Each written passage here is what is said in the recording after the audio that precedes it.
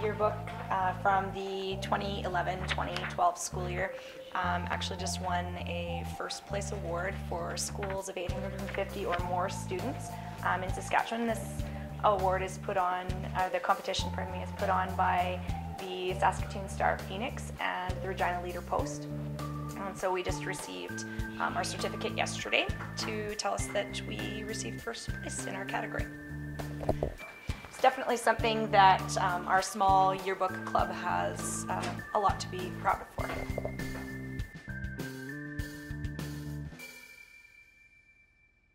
This is a significant milestone for our school.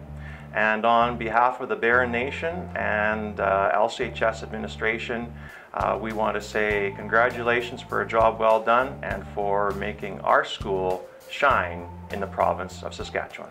Thank you.